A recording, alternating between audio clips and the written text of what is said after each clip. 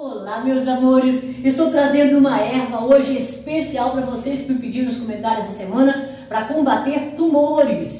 Para você que está com tumor no cérebro, tumor no útero, você está com tumor no pulmão, é um excelente chá, é fácil de fazer, é uma erva fácil de você encontrar, você encontra em tudo que é feira, você encontra mudinhas para comprar e você também encontra em lojas de produtos naturais como pulmonária. É uma erva fácil e é conhecida também como peixinho de horta. Muita gente come frito, mas ela como chá combate pneumonia, gripe, resfriado, viroses. Se você estiver com febre, tomar uma xícara desse chá e imediatamente a febre abaixa, estiver com dor de cabeça, não só dor de cabeça comum, mas também enxaqueca. Se você sofre com enxaquecas, vive com enxaquecas, principalmente no período menstrual, tá aí um chá excelente para você. Erva peixinho. Ela tem cálcio, com isso ajuda a fortalecer os ossos. Ela tem muito ferro, com isso ajuda a combater anemia. Ela também tem potássio, com isso ajuda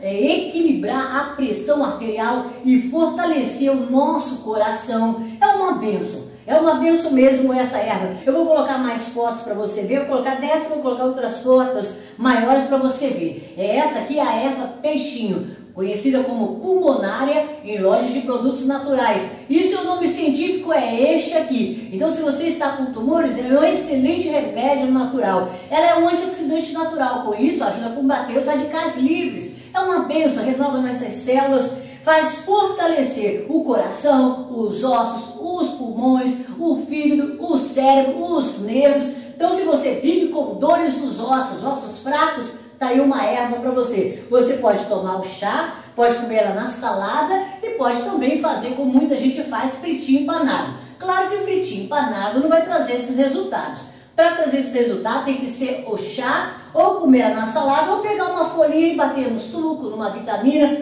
todos os dias. Eu vou te ensinar como você vai fazer o chá, porque essa benção você tem que conhecer, que é a nossa erva pulmonária, tá bom? Vamos fazer o nosso chá. Se você vai fazer com ela desidratada, você vai colocar água para ferver primeiro. Se você vai fazer com elas verdes, conforme eu vou fazer aqui agora, você vai colocar apenas uns 500 ml de água para ferver, para você tomar duas xícaras ao dia. Ou se você quiser, você pode colocar assim, uns 300 ml, fazer uma e fazer a outra depois também, tá? É só você dividir a quantidade de erva. Se for para duas xícaras, como eu estou fazendo aqui, você vai colocar cerca de duas colheres de sopa dela desidratada, tá? Para você fazer as duas, que é uma colher de sopa para cada xícara. Agora, se você for fazer com elas verdes aqui, eu vou estar usando três quatro, minhas folhas estão pequenas, aqui tem seis folhinhas, mas se as folhas estiverem grandes, você pode usar quatro folhas para fazer duas xícaras de chá. Se for uma xícara de chá por vez for fazer, você gosta de fazer uma por vez, você coloca duas a três folhas, não precisa mais que isso. Agora, se estiver bem grande, uma é suficiente, tá bom? Então, as minhas estão pequenininhas, vou colocar seis para fazer duas xícaras. Não precisa mais do que isso para ter esse resultado. O negócio é você fazer todos os dias, conforme eu vou explicar aqui. Então deixa ferver a água aqui cinco minutinhos. Aqui cinco minutinhos eu volto com você. Ferveu os cinco minutinhos, você desliga o fogo do seu fogão ou da sua chaleira e deixa esfriar.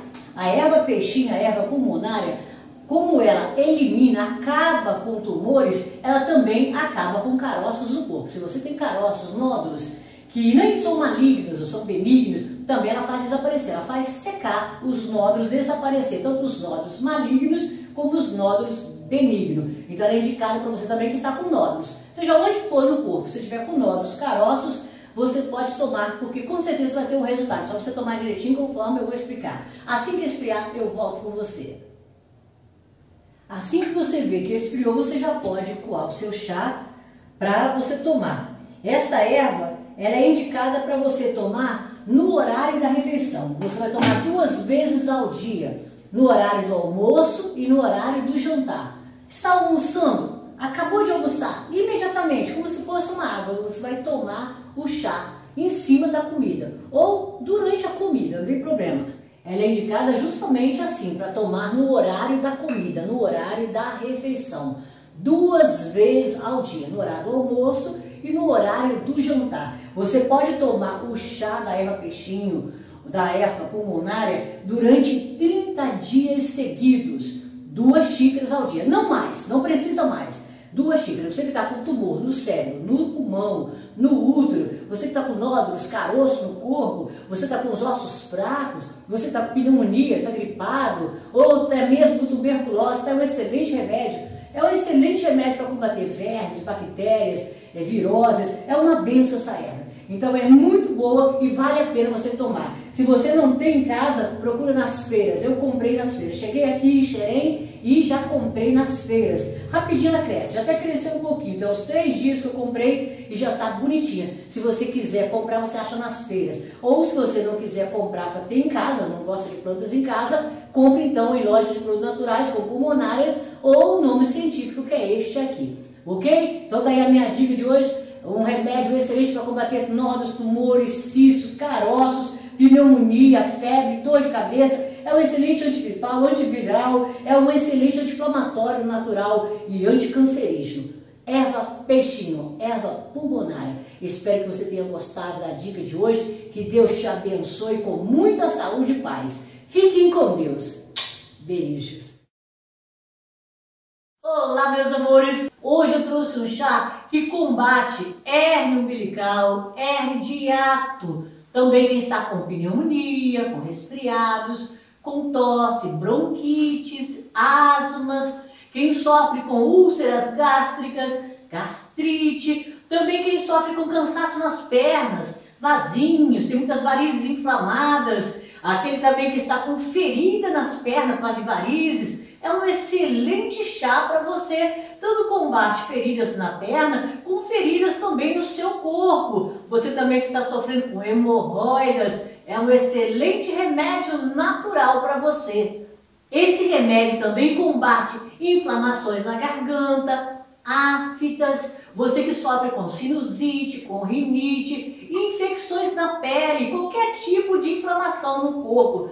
Este remédio, para mim, é um dos melhores anti-inflamatórios naturais que nós temos. Hoje estou falando de tanchagem. Muita gente fala como trançagem. Tanto faz trançagem, tanchagem, não importa. É essa planta aqui. Para você que não conhece, é essa que estou te mostrando agora. Elas verdes são assim, você encontra nas ruas, nos quintais, quem sabe no seu jardim, dá uma olhada. Ela é assim, assim é as suas sementes. E ela desidratada vem assim.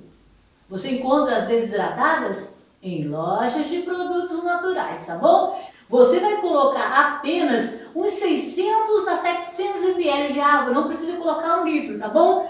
Agora, se ela tiver verde, as folhas estiverem verdes, aí sim você pode até colocar um litro para ferver, porque você vai deixar ferver por uns 5 minutos ela verde. Vamos deixar ferver então essa água que eu acabei de colocar. Daqui a pouquinho eu volto. A água já está fervendo, agora é só desligar a sua chaleira ou o fogo do seu fogão. Se for para colocar desidratada igual a minha, como falei, se for às vezes, deixa cozinhar por 5 minutinhos, ok? Assim que diminuir um pouquinho o vapor, você já pode colocar, tá? Uma colher de sopa bem cheia das folhas de dançagem desidratadas, tá bom? Ou 10 gramas, se você tiver comprado aí pacote de 10 gramas, é um pacotinho de 10 gramas uma colher. Agora você mistura, bem misturadinho, tá? Aí você vai tampar e vai deixar cerca de uns 15 a 20 minutos esfriando naturalmente. Então daqui 15 a 20 minutinhos eu volto com você. Você vai tomar o chá de tanchagem duas vezes ao dia, tá? De 12 em 12 horas. Você escolhe um horário certinho para você tomar e tome de 12 em 12 horas. Se for 7 horas da manhã, você vai tomar 7 horas da noite. Se for 6 horas da manhã, 6 horas da tarde. Tá bom? Se for 8 horas da manhã, 8 horas da noite. Sempre assim, horário certinho. Vê qual é o melhor horário para você. É um tratamento, você vai tomar de 12 em 12 horas. Toma por 15 dias seguidos. Tá? Uma xícara de 12 em 12 horas por 15 dias seguidos. Passou os 15 dias, você dá uma folga aí de uns 10 dias, vê como você está. Você vê que você já está bem, está curado, faz exames novamente, não precisa mais, não tome. Agora, se você vê que ainda tem um pouquinho, está algum lugar está inflamado, alguma coisa não está totalmente curado, você toma mais sete dias. Aí você para novamente, descansa aí uma semana. Aí, se você quer fazer de novo, então faz mais sete dias depois de novo, tá bom? Mas eu tenho certeza que não vai ser necessário não, porque 15 dias desse tratamento já faz curas mesmo, milagre, porque o chá de tanchagem é um excelente anti-inflamatório natural. O chá de tanchagem ou trançagem, como muitos falam, combate apendicite e também rins policísticos, tá? Então, você estiver sofrendo dos rins ou do apêndice, é um excelente chá para você. Agora, uma observação, grávida não pode tomar e nem pessoas cardíacas. Espero que você tenha gostado da dica de hoje, o remédio natural de hoje. Muito obrigado por ter assistido mais um dos meus vídeos. Deus. Beijos. Tchau, tchau.